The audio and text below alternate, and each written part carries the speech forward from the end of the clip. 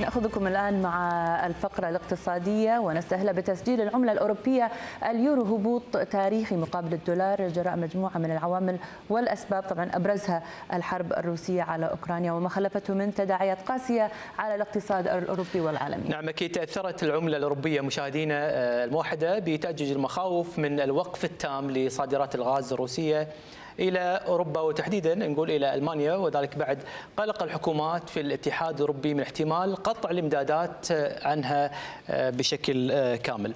نتابع في هذا التقرير ثم لنعوده. قبل بدء الحرب الروسية الأوكرانية بيوم واحد كانت العملة الأوروبية اليورو تساوي دولارا فاصلة 12% اليوم بالكاد تعادل دولارا واحدا هبوط تاريخي لليورو انعكس تضخما لامس 8.6% وانخفاضا في القدرة الشرائية تسببت به تداعيات الحرب المباشرة على سوق النقد العالمي بعد ارتفاع أسعار المشتقات النفطية في أوروبا بنحو 40%.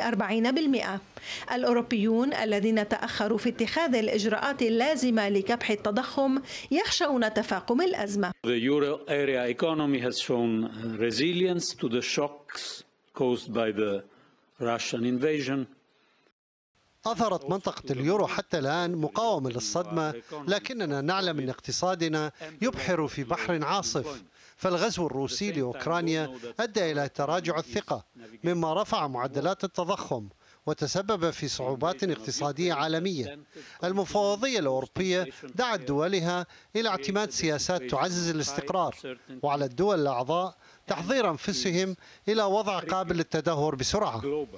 أزمة انخفاض اليورو وارتفاع التضخم في أوروبا بدأت تنعكس تراجعا في ثقة المستثمرين. هؤلاء باشروا بالاتجاه لتفضيل الاستثمار في الولايات المتحدة حيث الدولار قوي وأسعار الفائدة مرتفعة. ارتفاع أسعار الفوائد على المستوى العالمي سينعكس بحسب تقرير للبنك الدولي على قدرة الدول الضعيفة على سداد الديون المتراكمة أو الحصول على ديون جديدة ما سيؤدي بهذه الدول إلى أزمات خطيرة تضاف إلى ما تعانيه أصلا من ارتفاع في أسعار النفط والحبوب منذ بداية الحرب الروسية على أوكرانيا. تداعيات الحرب في أوكرانيا بدأت بالتأثير على حياة الأوروبيين اليومية فالمناخ الاقتصادي يتجه إلى مزيد من الغموض والتراجع وينذر بركود وشيك خصوصا مع التهديد بقطع الغاز الروسي عن أوروبا. دينا أبي صعب جنيف. العالم هذا الصباح.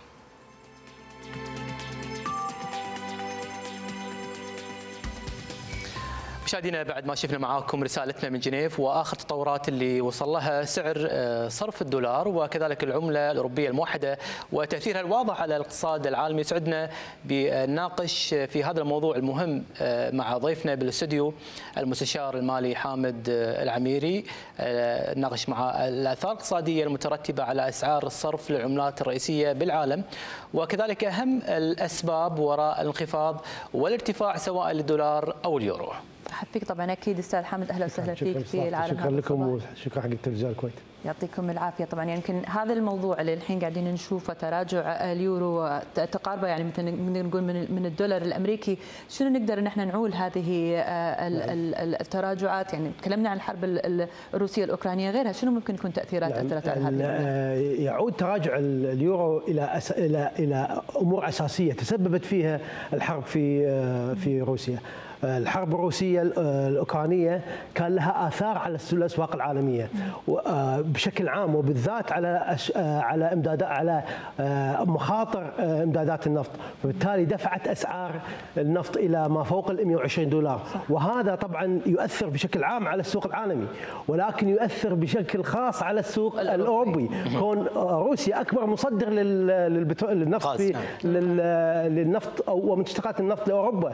والحرب الروسية الأوكرانية على مشارف يعني على أبواب أوروبا. وبالتالي نشبت مشاكل بين الجانب الأوروبي والجانب الروسي مما دعا الجانب الأوروبي لاتخاذ إجراءات ضد روسيا منها قطع أو عقوبات على النفط الروسي. والتخفيض التدريجي للغاز. وهذا طبعا دفع أسعار الوقود في أوروبا إلى مستويات عالية وأسعار الوقود هي أساس أسعار السلع والخدمات. وبالتالي دفعت التضخم إلى آخر قراءة كانت له 8.6 وهذا رقم يعني غير مسبوق في في منطقة اليورو. وهذا طبعا زاد من آه، مخاطرة أو احتمالية دخول منطقه اليورو أو اليورو في آه، منطقة اليورو في ركود اقتصادي.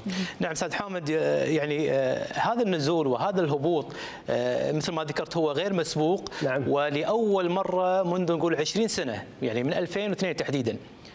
أول مرة اليورو ينزل إلى حتى ما دون الدولار الأمريكي ذكرت أنت أسباب كثيرة هل من ضمن الأسباب هو تأخر البنك المركزي الأوروبي في رفع أسعار الفائدة أشكرك آه، أخوي منصور. فعلا هي مو أول مرة. هي هو انخفض دون الدولار. اول مرة من 20 سنة. من 20 سنة من 20 نعم. آه، لكن انخفض من عقود الدولار ودخل في مشاكل طبعا في 2012 المشاكل اليونان ومن في ذلك. أما لكن مسار اليورو يعني ماذا ما يعني ماذا سيحدد هذا المسار؟ هي في نرجع الاسباب الرئيسيه كانت الحرب الروسية الأوكرانية، فالتساؤل ماذا يعني هذه هذه الأمور على الأرض وتطورت على الأرض راح راح يكون لها الأثر الكبير، هل سيكون في حل سلمي حق الحرب القائمة؟ وهذا سيكون له الأثر الإيجابي. أو هل سيكون في أو ممكن اتساع رقعة الحرب وإدخال الناتو وهذا يكون له الأثر السلبي. ولكن هذا من جانب السياسي. أما من جانب النقدي فهناك موضوع التضخم. التضخم يحتاج تدخل سريع من البنك المركزي الأوروبي وسمعنا كريستيان لاغارد رئيسه البنك المركزي تصريح أن هذا الأسبوع سوف ترفع 25 نقطة وفي وفي سبتمبر راح يكون 25 نقطة.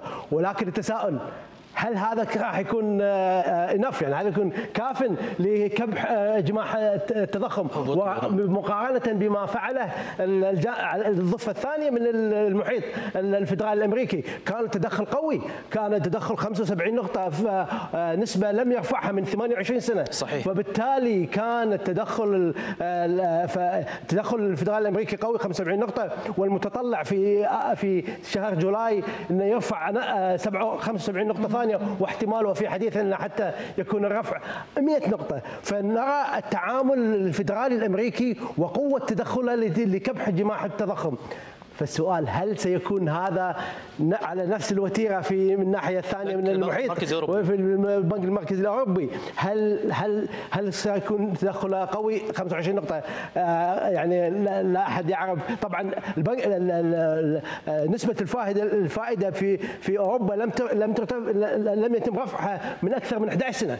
فهل سيكون 25 نقطة كافي هذا يبقى. وهذا فعلا سيحدد آه مسار اليورو سواء بارتفاع أو في حال إنه يستمر بالنزول أو إنه أو أو أو يصح مساره أو يصح مساره ولكن هذا من الجانب البنك المركزي البنك المركزي الأوروبي.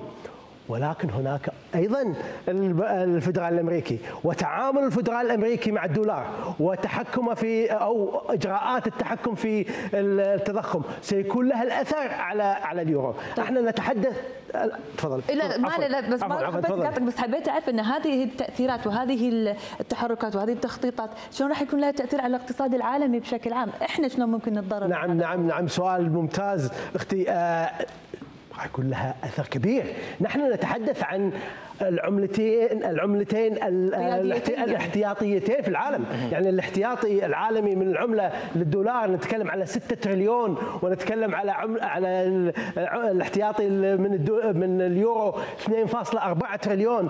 نتحدث على يورو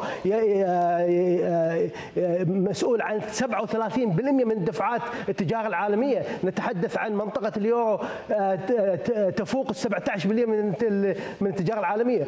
فلها تأثير وتاثير ثقيل على التجارة العالمية ومسار رؤوس الأموال. عندما نحن نتكلم الآن أنهم تعاد أن تعادل اسعار الصرف ونحن نتحدث عن منطقتين الاثنين متساويين في التصنيف الائتماني. نتكلم عن أو ما يسمى بالعديم العديم المخاطرة أو zero risk أمريكا وأوروبا. فبالتالي انت ساوى في سعر الصرف. وتساوى في التصنيف الائتماني فأين سيكون التفاضل؟ سيكون التفاضل في العوائد. فوإن وإن كان رفع وإن كان التدخل مثل ما رأينا البنك المركزي أو الفدرالي. الأمريكي في تدخل القوي لكبح جماح التضخم ورفع ال 75 نقطة. فماذا يعني هذا؟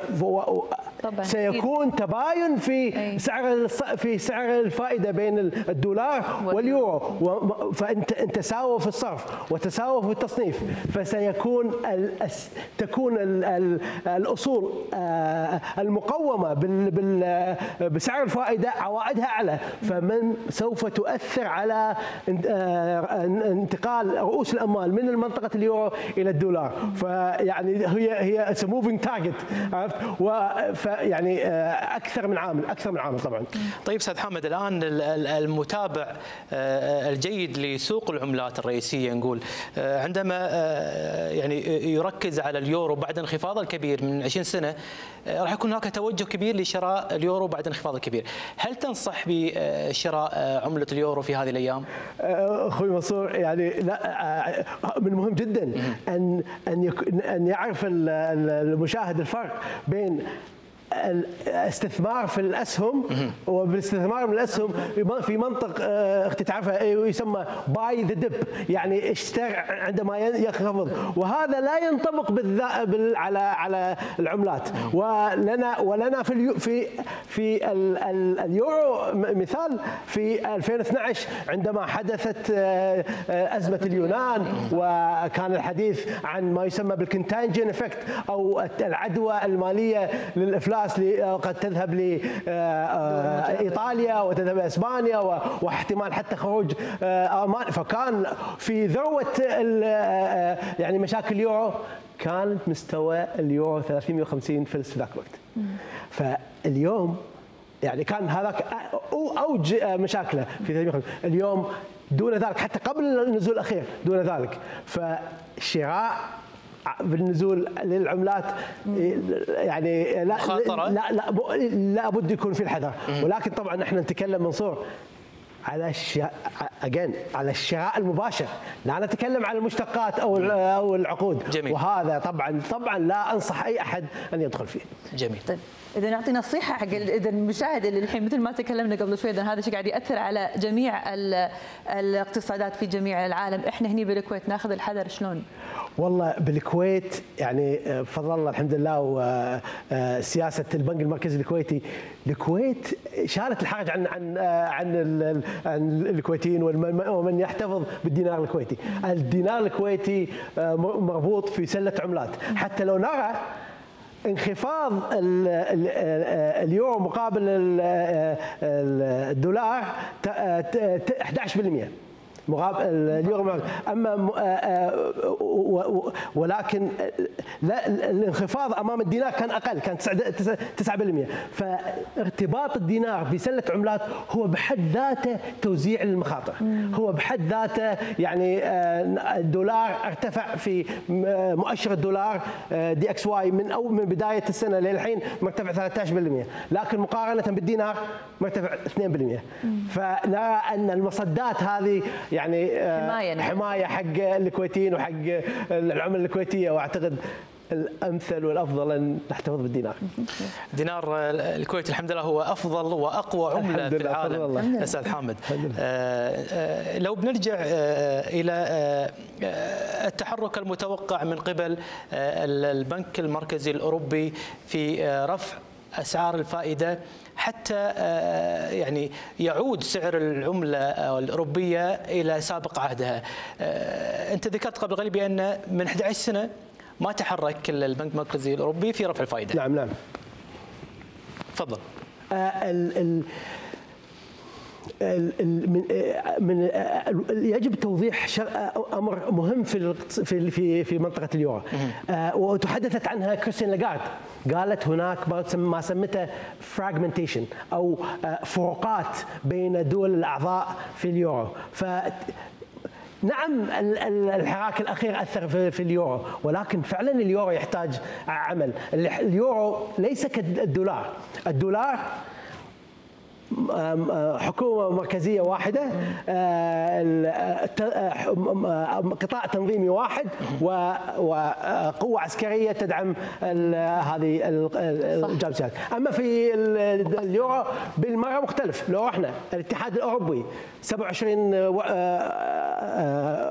27 دولة الاتحاد الأوروبي غير عن الناتو اللي هو الجانب العسكري. هم 30 في دول مو مو مو ولو رجعنا حق ال ال ال الاتحاد النقدي 19 دولة مختلفين. فبالتالي هذا يعطي القرار يعني القرار الأمريكي يكون أقرب للتأثير من القرار الأوروبي. فهناك أمور في في الجانب الأوروبي تحتاج معالجة. طبعا السوق العالمي يحتاج إلى عملة ثانية. آه، تكون آه، كاحتياطي. واليورو يحتاج إلى بعض هذا الميكانكس. من جانب الاوروبيين. قراءتكم أستاذ حامد بشكل عام يعني نقدر نقول بحكم معرفتكم بالتاريخ اليورو متى كانت آخر نعم, نعم. انخفاضاته وعلى مستوياته السيناريوهات القادمة يعني شنو اللي نقدر نقول إنه راح يكون توجه إيه بشكل أختي عام؟ آه، إحنا في في في عالم المال يسمى الأنسرتينتي الأنسرتينتي أو أو الضبابية آه، يعني عدم, عدم الوضوح إحنا دخلنا في أجواء عدم الوضوح فعدم الوضوح لا تعرف أين القواعد لا يمكن التنبؤ, التنبؤ فيها نعم. فمن الصعب الحين أن نجزم أن سوف يكون تصحيح لليورو أو آه، لأن لأن لو أخذنا في الأساسيات كل الأساسيات تقول أن المفروض المفترض الدولار ينخفض. يعني لو رأينا أغلب آه، بنوك الكويت أصدرت آه، آه، سندات لتدعيم أو سندات أو صكوك راس مالية لتدعيم رأس المال بالدولار. تنبؤا من لأن الواضح أنه المفترض يعني أن ينزل الدولار. ولكن لم يحدث ذلك. بالعكس الدولار في بداية السنة مرتفع 11 13% فيعني هذه هذه هذا هذه لما نقول الضبابية. نعم. الضبابية فعلا لا تعلم أين مسار هذا. يعني لا يمكن مقارنة ما يحدث صعبة. حاليا صعبة. فيما حدث في السابق في 2012 و2002 يعني هذه صعبة, صعبة. لا لا لا أزمة 2008 الأزمة الائتمانية مختلفة بالمرة عن الأزمة الحالية. تختلف بكل بالضبط بالضبط. أستاذ حامد استمتعنا بالحديث معك عن موضوع اقتصادي شيق ومهم جدا شكرا. لدى المهتمين في الشأن الاقتصادي وإن شاء الله نلتقيك إن شاء الله. في حلقات قادمة. شكرا لك. سعيد جدا بالالتقاء فيكم وألف شكر. شكرا. يعطيك العافية.